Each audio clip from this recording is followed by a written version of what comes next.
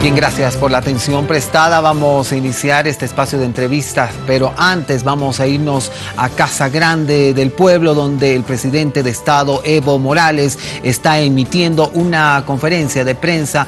En adelante le damos información. Además, damos la bienvenida a nuestra compañera de trabajo. Buenos días. ¿Cómo estás, Andrés? Buenos días. efectivamente nos encontramos en el Casa Grande del Pueblo. El presidente del Estado hace referencia sobre los comicios electorales del pasado fin de semana. Escuchemos. A las regiones de todos de los nueve departamentos por este gran triunfo.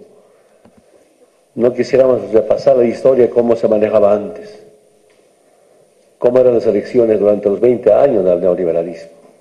Sin embargo, una gran conciencia del pueblo boliviano de avanzar con todo lo que nos hemos propuesto.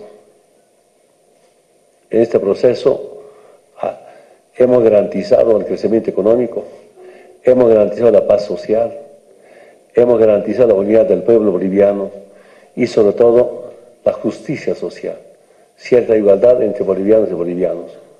Por eso nuestro proceso es imparable, es decir, a candidatas, candidatos, a dirigentes nacionales, departamentales, regionales, locales, a nuestras autoridades por este gran triunfo del día domingo 20 de octubre de este año.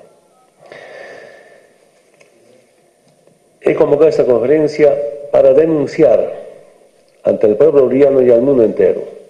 Está en proceso un golpe de Estado. Aunque quiero decirle, ya sabía anticipadamente, se prepararon la derecha con apoyo internacional para un golpe de Estado.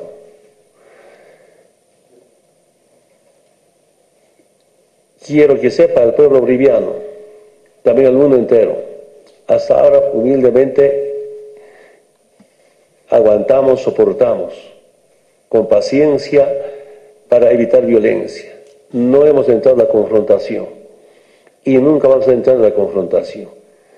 Pero quiero decir al pueblo boliviano, primero, estado de emergencia y movilización pacífica y constitucional para defender la democracia. ¿Y cómo se expresa el golpe de Estado? No dejan el conteo de las elecciones, queman instituciones del Estado como la infraestructura del Tribunal Supremo Electorales Departamentales, como amedrentan a las casas de campaña cómo están atentando a candidatos electos a senadores diputados y sobre todo no dan garantía, garantía, la derecha, los opositores, a los miembros de los tribunales electorales departamentales y nacionales. Pero además de eso, ustedes están informados, amigos de la prensa, el pueblo boliviano está informado, querer posesionar un presidente en estos días, en estas horas. Está bien, yo solo quiero decirles, no estamos en tiempos de colonia, ni de tiempo, estamos en tiempos de monarquías para designar presidentes. Entonces, decir a mis compañeros, al pueblo boliviano, a las hermanas y hermanos, a organizarse, prepararse y vamos a defender la democracia. El pueblo organizado, mineros, campesinos, profesionales, patriotas, han recuperado, hemos recuperado la democracia el pueblo boliviano ha enfrentado tantas agresiones internas y externas. Y ahora, después de casi 20 años de dictaduras militares, 20 años de la democracia pactada, desconoce que se ganan las elecciones.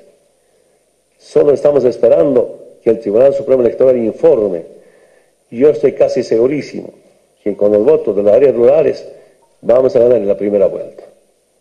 Aunque el conteo del TREP dijo que ganamos, pero somos respetuosos al informe oficial que brindará el Tribunal Supremo Electoral.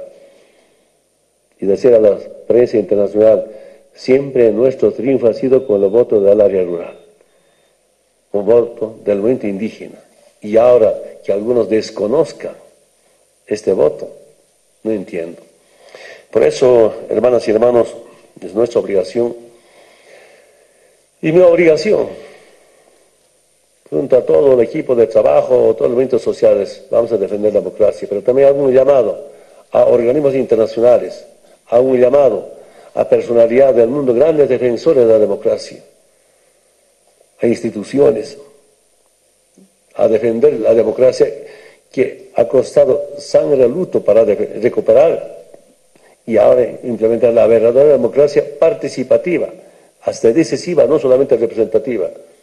La democracia para mí no solamente es el día de las elecciones, la democracia para mí es de uniones permanentes con los distintos sectores sociales, no solamente con los movimientos campesinos, empresarios, profesionales, todos los sectores. Esa es la democracia. La democracia no termina en el día del voto.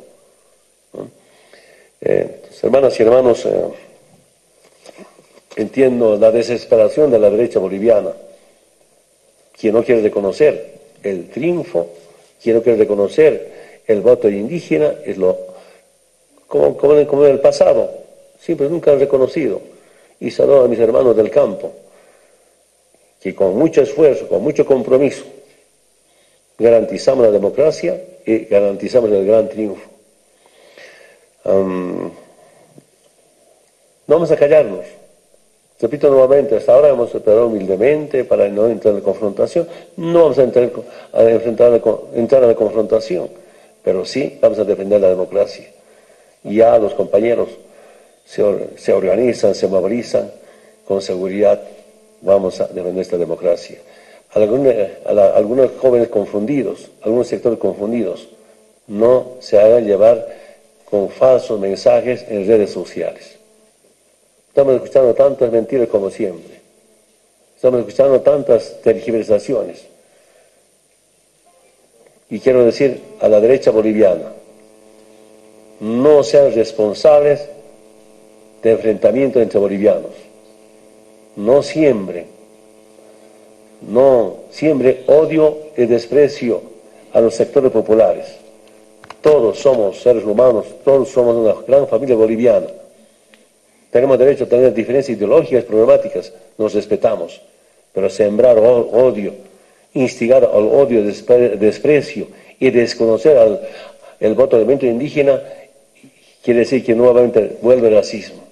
Ustedes sabrán como periodistas quién está llevando a enfrentamiento, quién está trayendo nuevamente odio, racismo, desprecio a los sectores populares al margen de las diferencias ideológicas, finalmente somos una gran familia boliviana. Convoco a seguir construyendo la paz con justicia social, a seguir trabajando por el crecimiento económico. Convoco a todos, a todos, no perjudicar la situación económica del país. Lamento mucho algunos departamentos. Con el paro solo van a perjudicar económicamente a su departamento. Y ciudadanos, la responsabilidad debemos del gobierno. Son responsabilidades dirigentes que sepan trabajadores, sepan los movimientos sociales, empresarios, quién le va a perjudicar económicamente a su departamento. No hay razón para un paro. Claro, si es un paro político, si es un paro para un golpe de Estado, tendrán razones ellos. Yo entiendo, paros, huelgas, por una reivindicación, reunión social, económica, entiendo perfectamente. Paros es solamente, primero, paro político, un golpe de Estado y sobre todo para perjudicar económica al departamento y a Bolivia. Muchas gracias. Yo un mensaje y ha señalado de que eh, se está preparando un golpe de Estado. Ha señalado además que ante el paro convocado indefinido de el CONADE ha señalado de que pues sería un paro político y se estaría presentando a los nueve departamentos del país. Este es el panorama que se vive en la Casa Grande del Pueblo. Andrés. Muchas gracias, Helen.